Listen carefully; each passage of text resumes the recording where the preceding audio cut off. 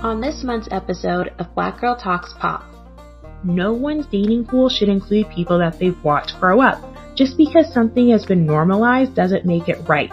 If you're gonna be problematic, at least make the song a hit, and Meghan does that very well.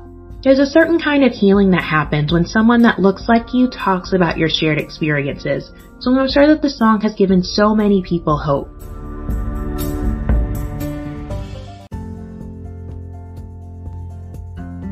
Hey y'all, my name is Ada Grace, and you're listening to my podcast Black Girl Talks Pop, where I talk about pop culture and all the hits and misses in between.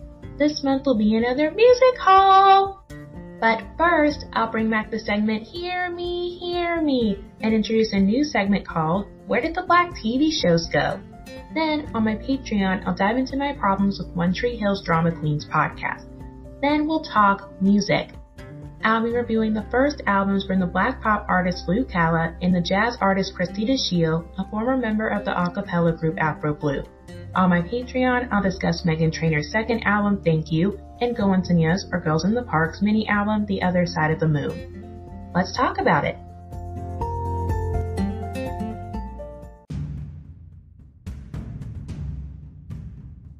Hear me, hear me.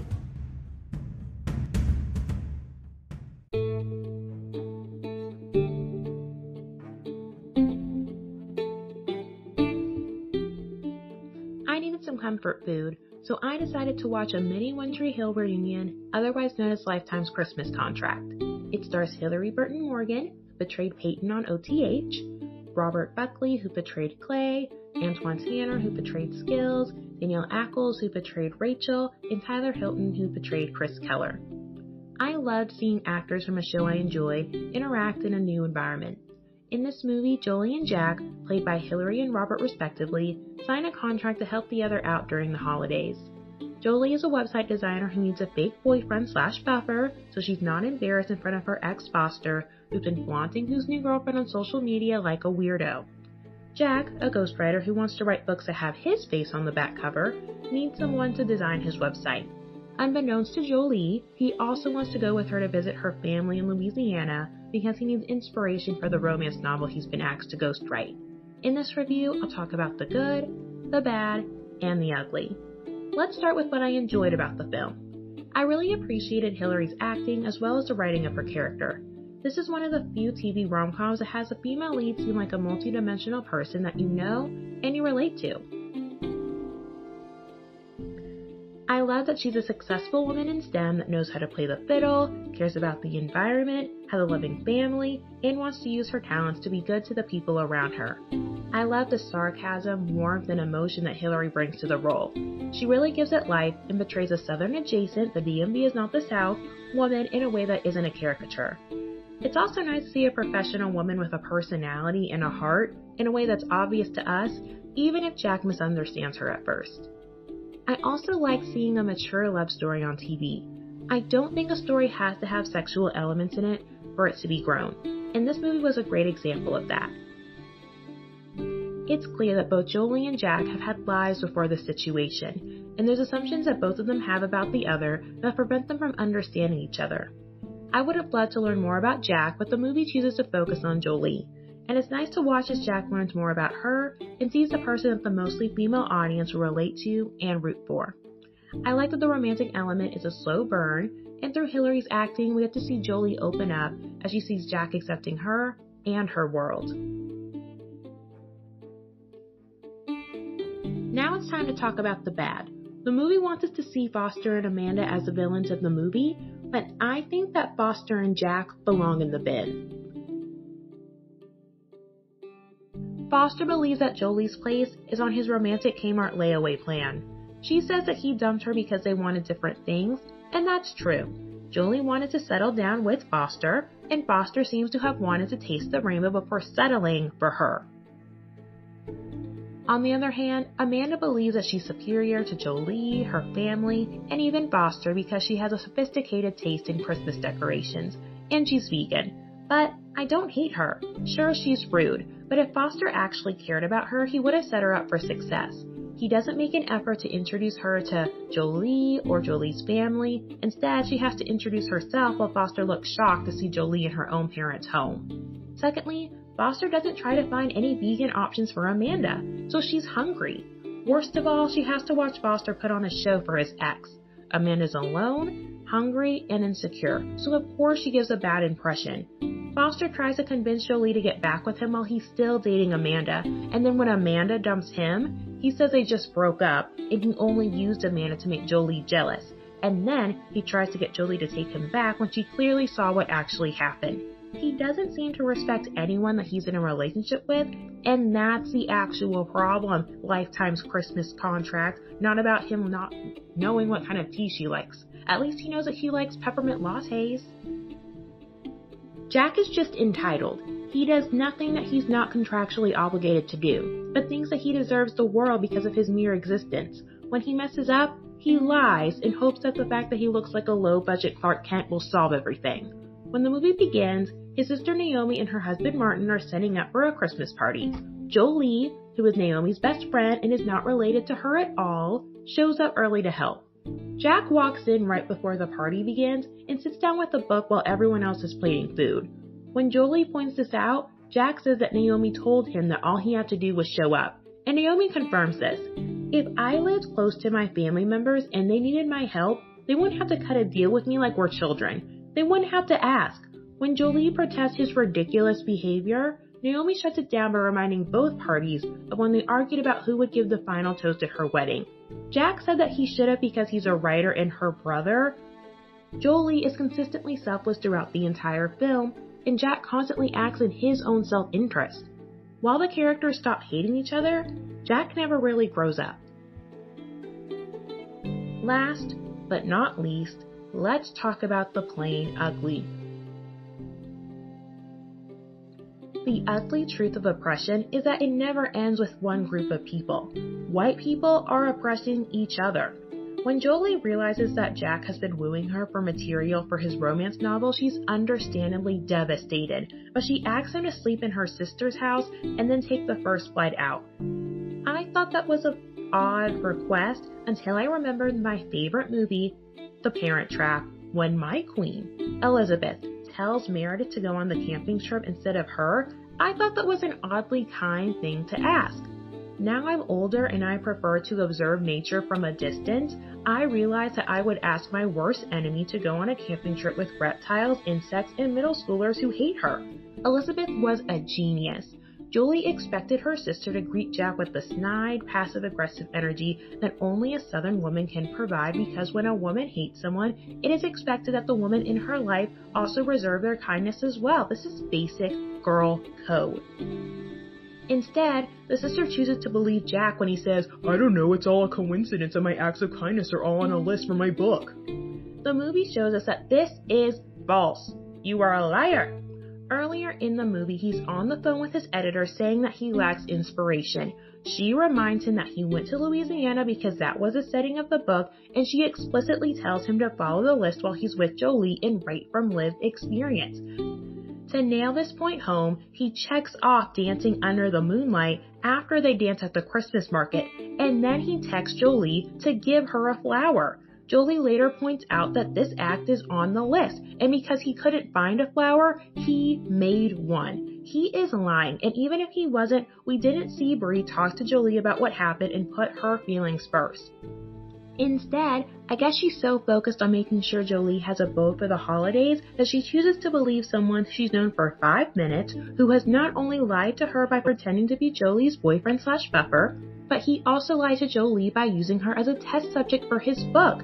Does Bree, who's Jolie's sister by the way, have so much internalized misogyny that she can't imagine that her sister could be full of holiday cheer and single, or that her sister's being single is better than her falling for a frog?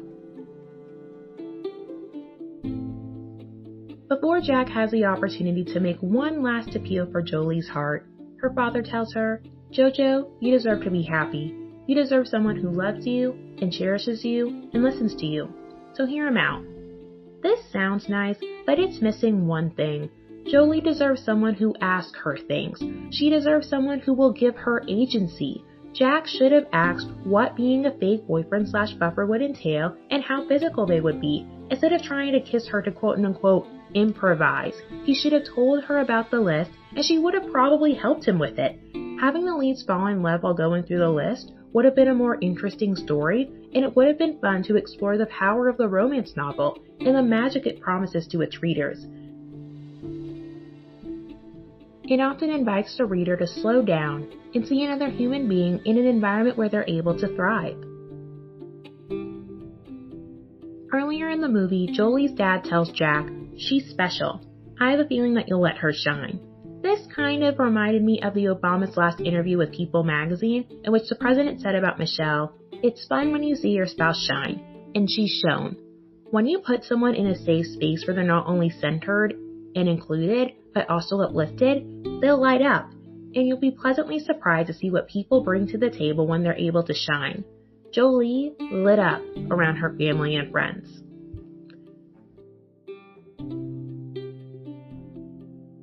Jack had projected his financial and professional insecurities onto Jolie, but when he got to see her in her element, he saw her creativity, warmth, and thoughtfulness, and he realized that the person he imagined her to be was far from the truth.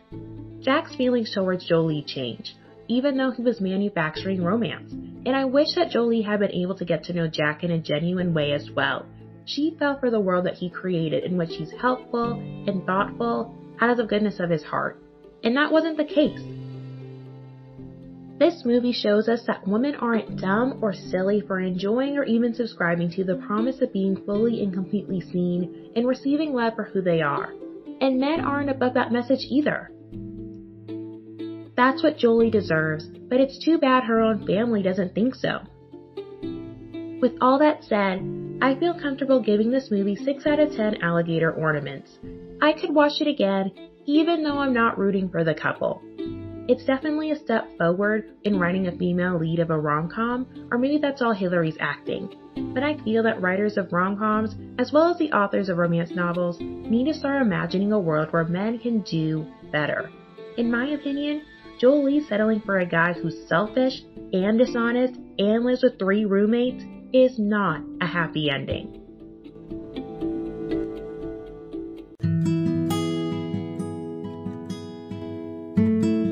So, where did the black TV shows go?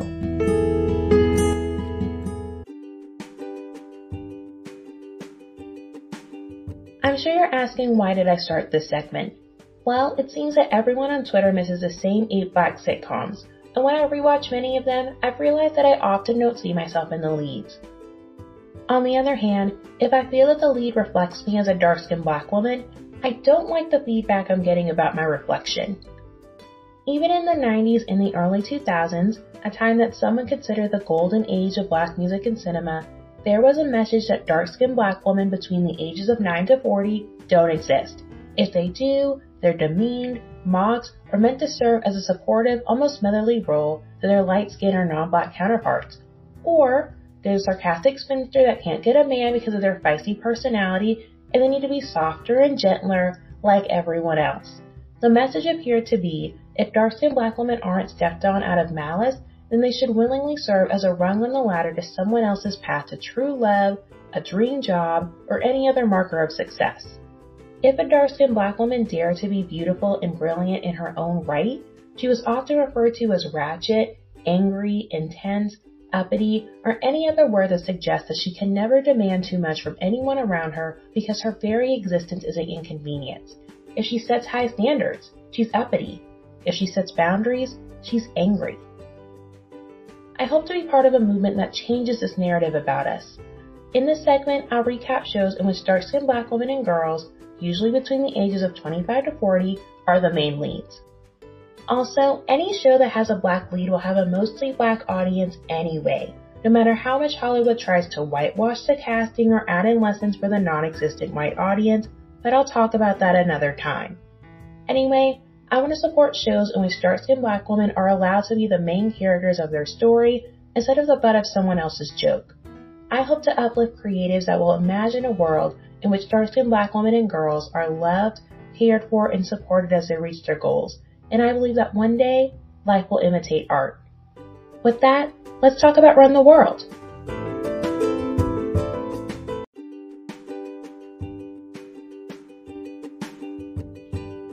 While this show is supposed to have four leads, the trailer makes you think that the lead character is Whitney, who's portrayed by Amber Stevens West, the black girl from the TV show Greek that was on Freeform when it was ABC Family. Whitney's a high powered executive that brings major IPOs to the stock market, and she's engaged to a Nigerian doctor, Olabisi, or Ola. From episode 1, the colorism on the show is strong, and it was surprising since the show was created by a dark skinned black woman. We see that the light skinned biracial woman is in one of the healthiest and most loving relationships in the show, and she proceeds to ruin everything. I don't get it, I don't like her, and that never changes. Let's talk about all the strikes that Whitney has that knock her out of my list of favorite characters pretty early on. The first strike is hypocrisy. Whitney's xenophobia jumps out and takes off when she talks about Ola's Nigerian family as if she and her family are so much classier. However, she and the girls are putting together wedding invitations in a dirty bar instead of Whitney's hopefully clean home. Maybe that's a statement of how little Whitney cares about the wedding, but it's not adding up. The second strike is xenophobia in three ways. First, she continues to mispronounce Ola's name, but I guess he's too color struck to care. Then, the show stereotypes Nigerian families as oversized and obnoxious, the Nigerian aunties are behaving the same way that Whitney's mother is, but they are painted as the problem. The final incident of xenophobia is Whitney's elitism. She disrespects a Agele by referring to it as a do-rag thingy, but she should be more concerned about paying $350 for an updo, and getting expensive fish when it's clear that everybody likes tilapia. The third and final strike is the act that creates the conflict for Whitney's character for the rest of the season. She cheats on her loving fiance with the community pep in your step. Whitney says that she wants to have more dating experiences, but her friends that are dating around are trying to have what she's got, and they tell her this. Also, shouldn't you be dating your partner? She refuses to listen, and I have a theory that she actually doesn't like Olaf that much, but would rather be with the doctor than be single. It's sad that she's wasting emotional energy being down about a wedding she doesn't want. And it's worse that she's wasting this man's time, although I have limited empathy for him too. The next girlfriend we'll discuss is Sondi, who's portrayed by Corbin Reid. I love when women have traditionally masculine names. Is it internalized misogyny to think that women with these names are automatically cooler? Probably, so I'll work through that. Sondi, the other type 3 on the show, is secretly dating Matthew, her professor, as she often spends the night with him and wakes up to play house with his young daughter Amari. Sondi and Matthew do a terrible job of keeping their relationship a secret. If the university isn't supposed to know, why is Sondi running personal errands on Matthew's behalf, like dropping off the tuition check for his daughter's ballet class?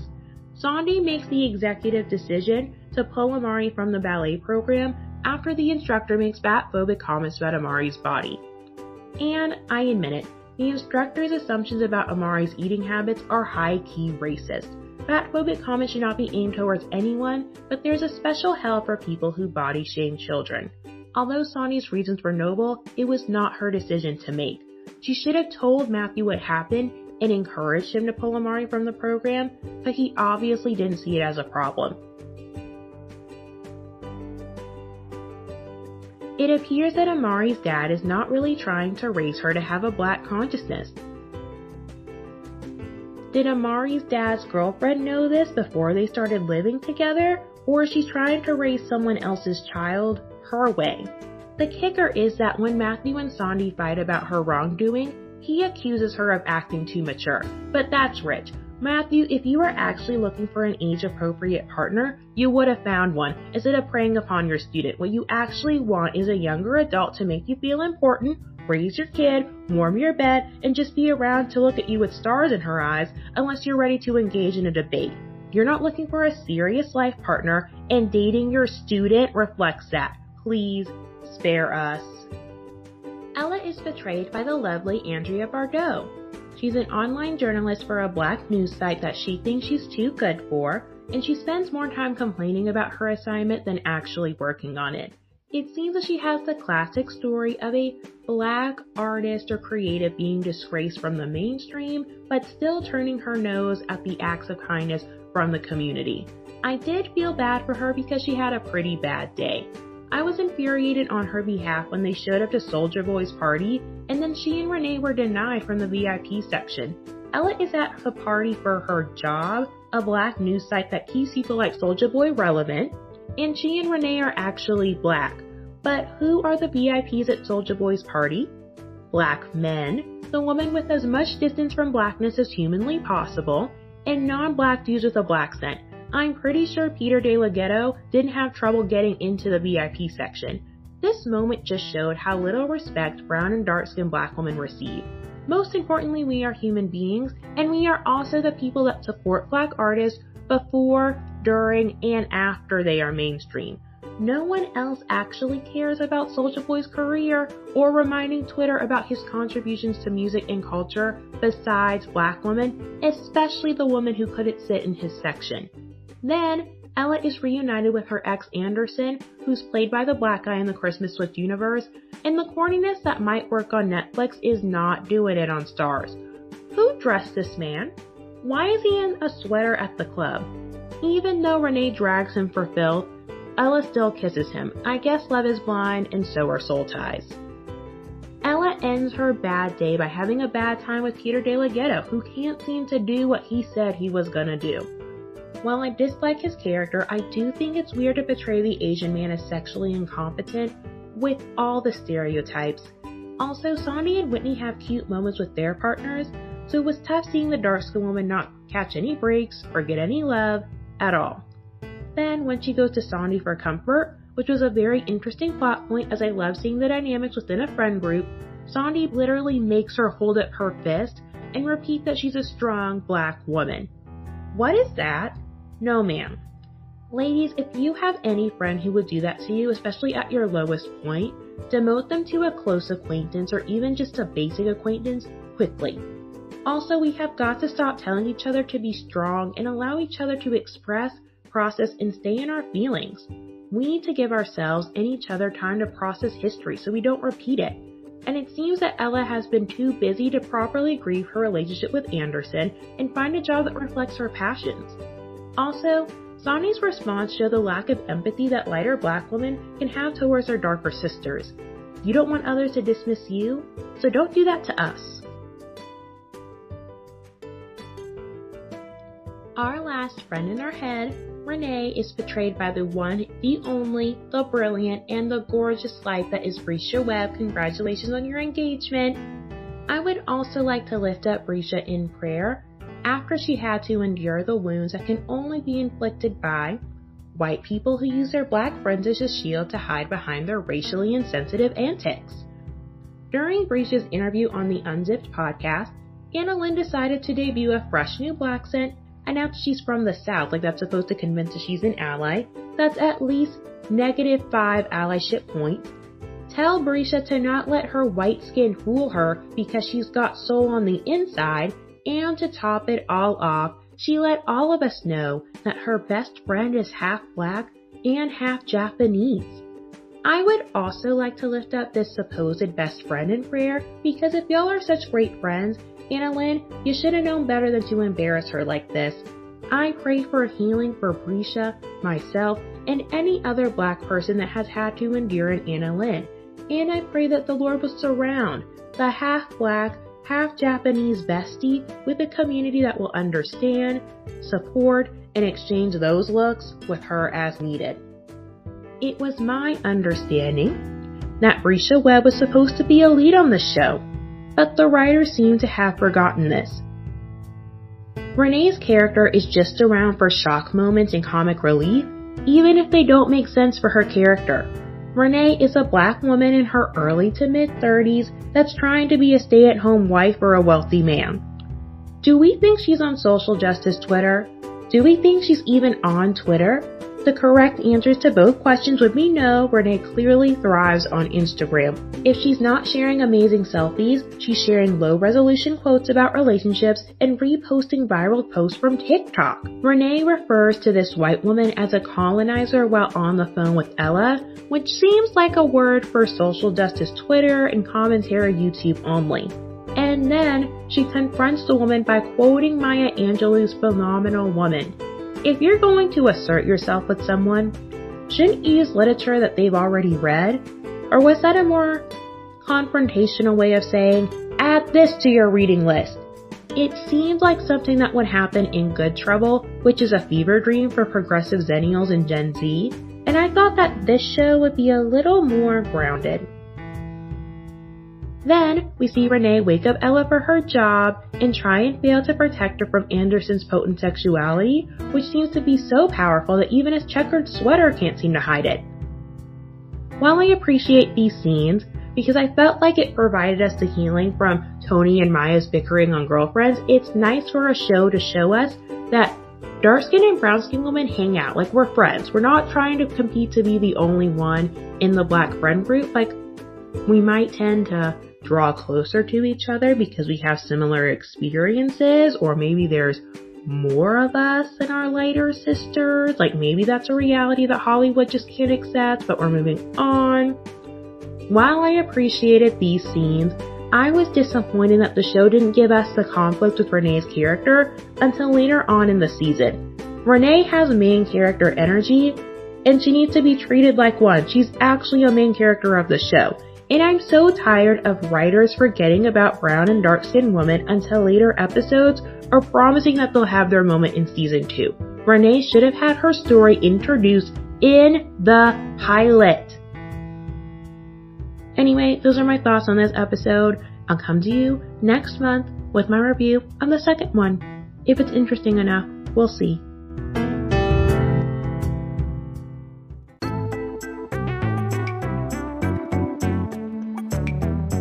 Is my music haul! I can't wait to share the music that's newish to me. The music that I've mentioned and purchased will be available in the Spotify playlist that you can find in my link tree in the description below.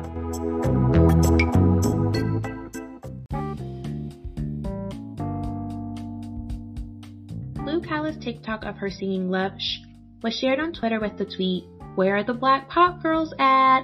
I loved the song and I was so excited to see another black girl in pop music. I'll be reviewing her debut album, Worthy. I'm learning that when an artist gives you an album with eight songs, it's usually good. Her tone is a little similar to Ellie Goulding's, but she's got more grit and emotion in her vocal delivery. I really appreciate Lu's storytelling in her writing and vocal performance. It feels like she's talking to you, but you also feel that you're experiencing these situations along with her. There was no song that I didn't like, but there were certain songs that I decided not to buy out of personal preference. It's heartbreaking that a lot of these songs are discussing her being cheated on or not being claimed by a romantic interest, but I can't tell someone how to share their experience. When Lu Kala performed on Play the Parks, she said that Don't Count Me Out was a response to the professional and personal peers who counted her out due to their fat phobia it was a catchy song with sad lyrics, and I always pause when a person's breakout single discusses their oppression. All I can do is empathize and work to prevent these challenges for other artists by supporting beautiful, talented artists like Lu Kala and showing the industry that she is marketable and she has a fan base that is looking forward to her work. I also want to revisit my personal reading of Don't Count Me Out and tie it to the professional experiences that may have inspired the song. While Lu Kala is rejecting the fat phobia of the industry, she still wants to be part of the machine. And this is a frustrating side of being a member of several marginalized communities, having to deal with the majority. While we can tell Lu Kala, a curvy and black artist, to build her own community, why shouldn't she be able to be part of the mainstream? Why shouldn't she have the opportunity to be on the same places and stages that have been defining moments for other artists? Why shouldn't she be able to have sold out tours and the specials that debut on a streaming service or TV network? Why does she have to talk about and possibly relive the pain that the industry inflicted on her to get there? She should not have been counted out by anyone in the first place. While it was a good song, it wasn't for me, but it doesn't need to be. There's a certain kind of healing that happens when someone that looks like you talks about your shared experiences, so I'm sure that the song has given so many people hope. I can understand how it's sentimental for her as it's her debut single, and it's an anthem for women who share her experience as a curvier black woman in a whitewashed, fat phobic industry and world. The second song I didn't buy was Body New, a song that I liked but didn't love. My interpretation was that she wished her body knew that her lover was cheating on her. While I appreciated having a song about woman's intuition, the song didn't stick with me personally.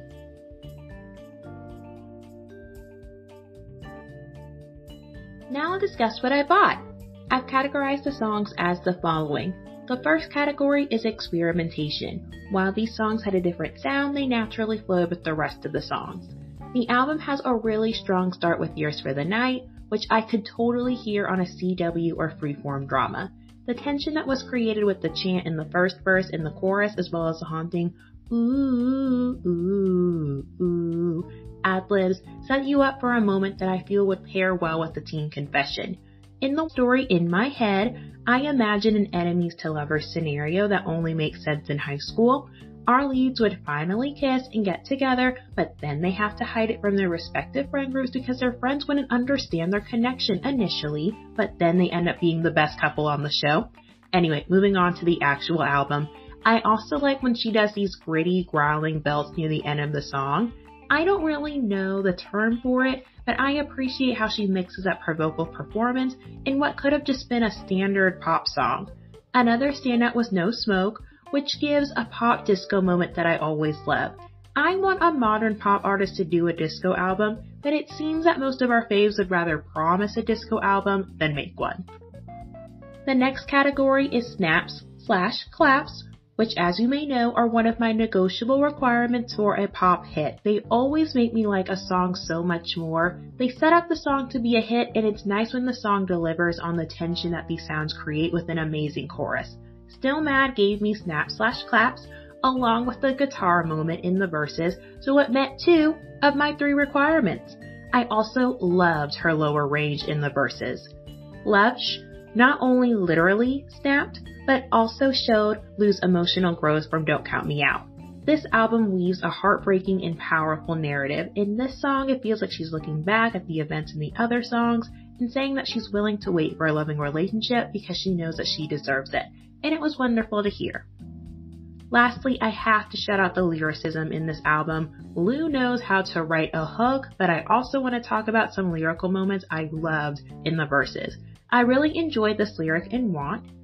You read my body like a magazine cover, skim through, and toss it away. Absolutely devastating. On the barely brighter side, I also enjoyed the concept of the song Love Like. I think the term love like is very cute and creative, even though it's describing a situationship. I also appreciated her acoustic performance of the song as well. It expressed the song in a different way, and I wish the performance was posted on her main channel because it's great. The album feels like it should be on a 2015-2016 teen drama playlist, and I completely love that. It also has the 2016 island vibe that was popularized with Say Sorry, Work, and other pop hits of that year, but it still sounds fresh because Kala adds her own spin. Worthy takes all the good musical moments from 2015 2016 pop and leaves the unnecessary quirkiness behind. If you enjoyed those two years of American pop music, you'll have a great time with this album. At the end of the day, the album did lose one and a half stars for the songs I didn't buy, one star for Body Knew, and half a star for Don't Count Me Out. Anyway, Worthy is a good breakup album. I personally like to cry to upbeat music, so whenever I'm really down about any disappointment, this album would be perfect. However, the lyrics are catchy and the music is fun, so whenever I want to have a good vibe, this album is also perfect. In general, Worthy is an amazing pop album, capital P-O-P, pop album, so I'm happy to add it to my new Magic and Friendship playlist. It's a hit! 8.5 out of 10 snaps. I wish I found it last year when it came out, but better late than never. Thank you, Black Twitter.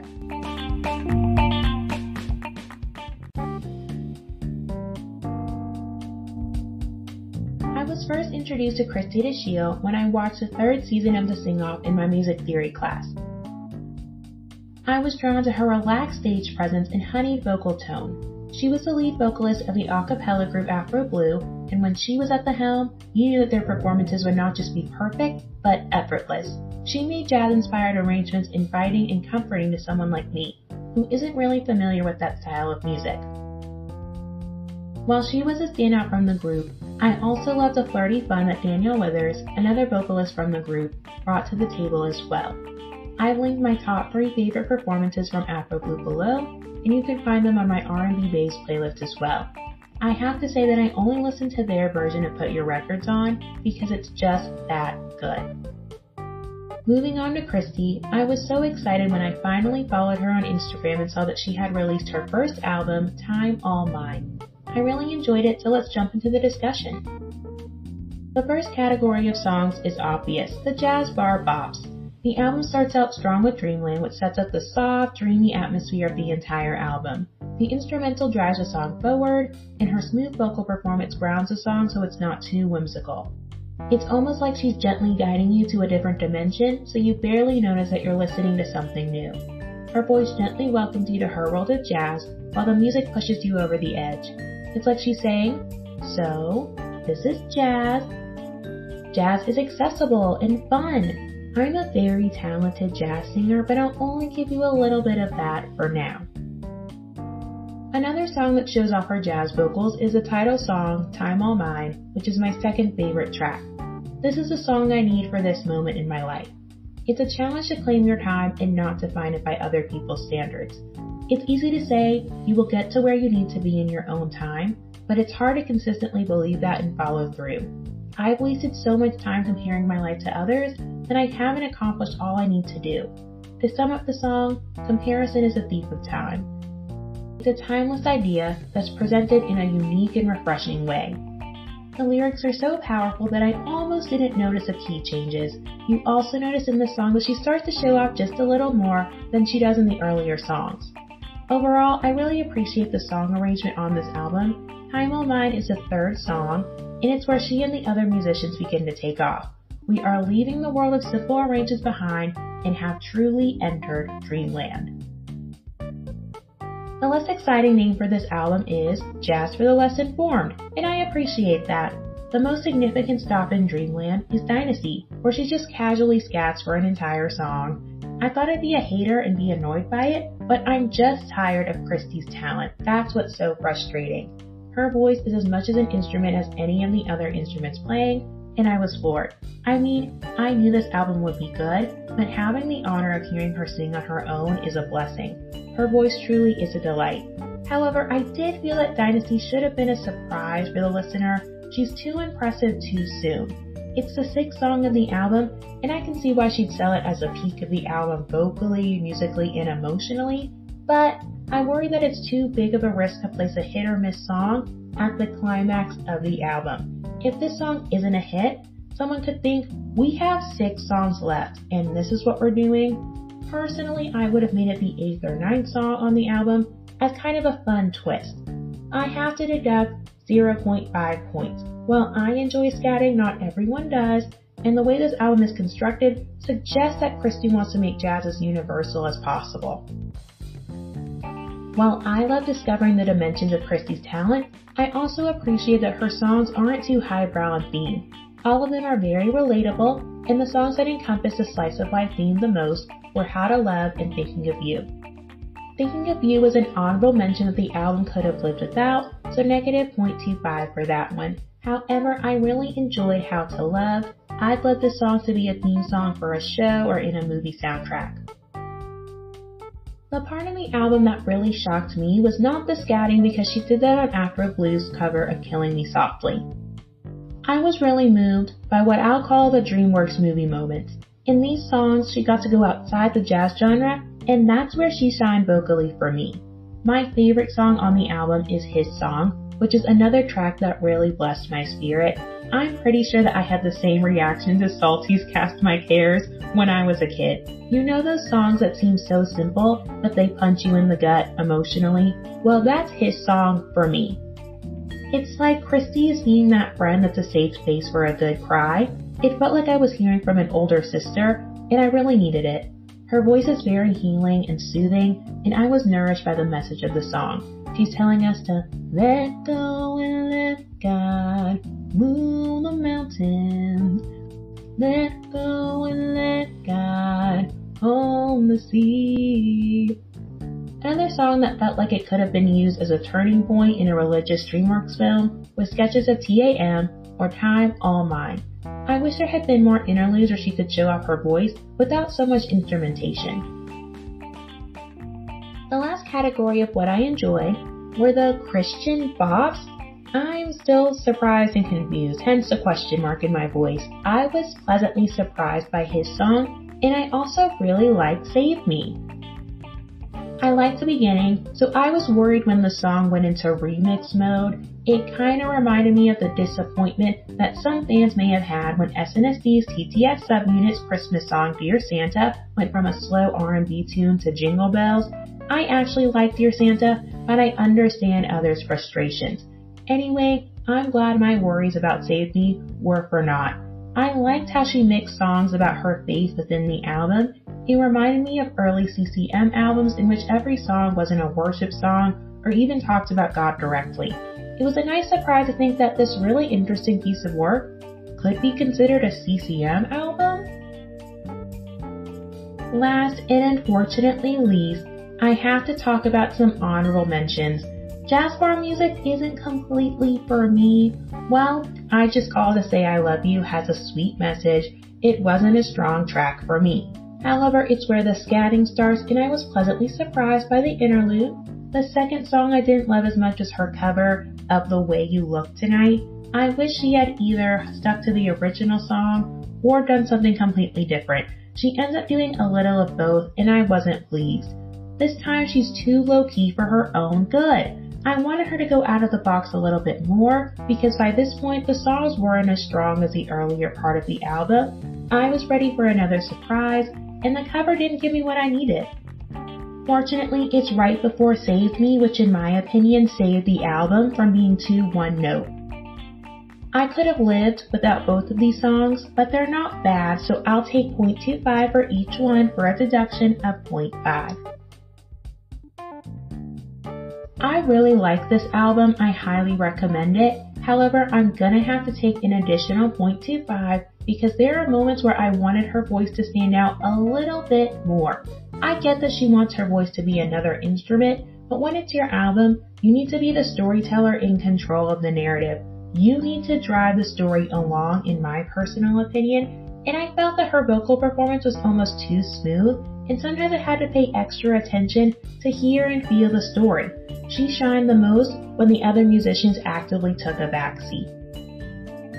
In spite of my complaints, I give this album a score of 8.75 out of 10 glasses of lemonade on a summer day because this album's sound and message is so refreshing. This is the highest ranked album so far, so you can tell that it's definitely a hit or miss for me. I felt very grown up and sophisticated enjoying a jazz album, and I don't know if it was intentional, but Christie confidently leads the listener through the album as if she knows that non jazz people like me would feel out of their depth at first. I appreciate the consideration, even if it's all in my head. I was so excited to see that she had music out, and I'm glad that she delivered. Her Instagram is so inspirational. She's still singing and doing what she loves, and I'm honored that I get to witness her amazing talent. She's incredible. I want another album. Pronto.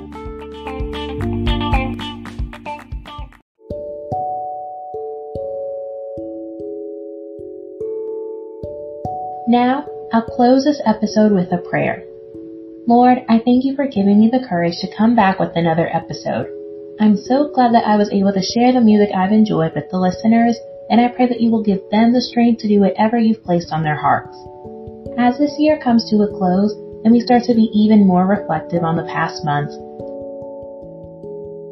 help us to lay aside our fears and share our burdens with the people who have shown us that they care. Help us to be gentle with ourselves and give ourselves room to grow, even as this year comes to a close. There is still time to start following through with the goals we've made for this year. As we continue to look back, help us to not only check and acknowledge our privileges, but do the harder work of intentionally undoing them so that we can acknowledge and uplift the experiences of others. Let every area of our lives reflect the endless diversity of humanity that you created, and let every area of our lives respect the journeys of those whose roads have been made more difficult. Let our reflection give way to the celebration of others' talent and ingenuity and create a new path that will prevent unnecessary struggle and end generational cycles of trauma. I lift these prayers to you today, and I thank you for hearing our request always. In Jesus' name I pray, Amen.